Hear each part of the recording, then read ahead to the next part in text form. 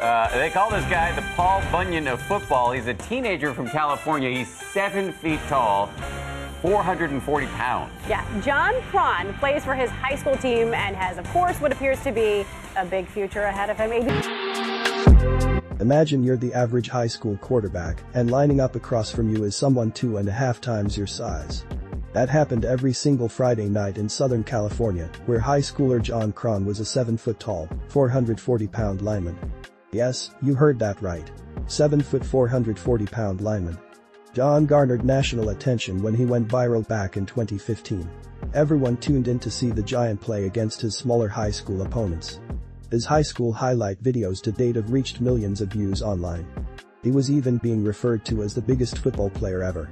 Now it's been years since John first went viral, and many are starting to ask whether he is still playing and where he is now.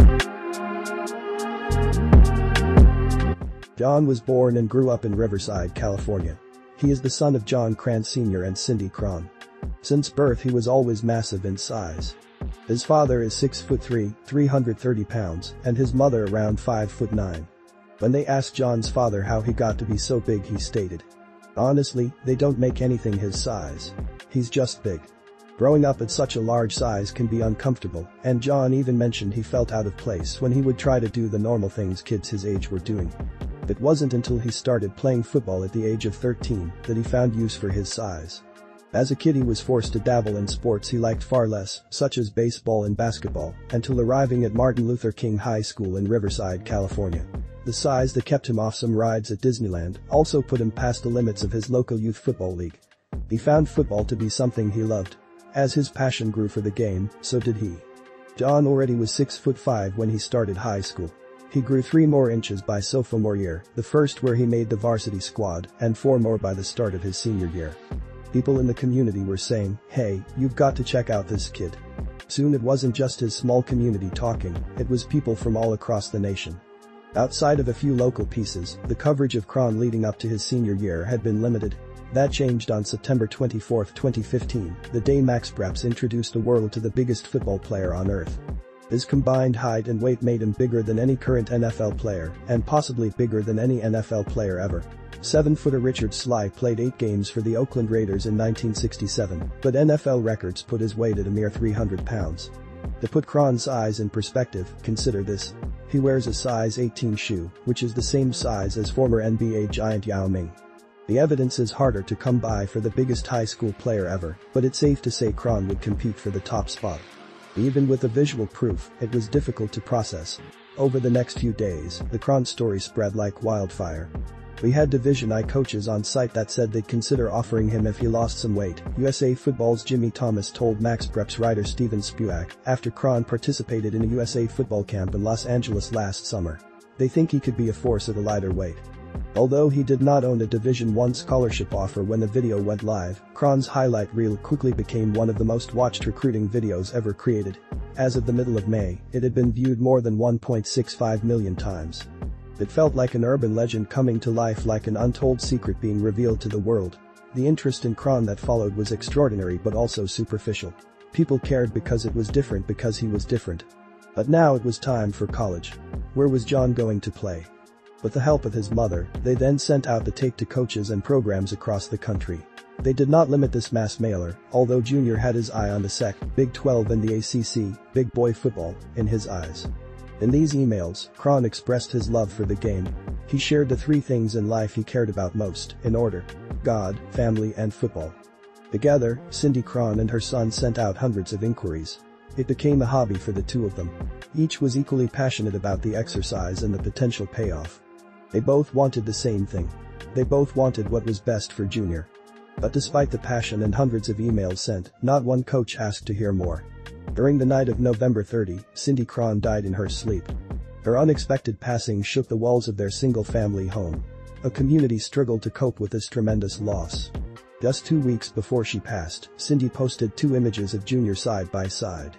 It showed his physical transformation between his junior and senior seasons. Below the most recent image of her lean powerful-looking son, she included the following. Junior, I am so very proud of you and the man you have become she wrote.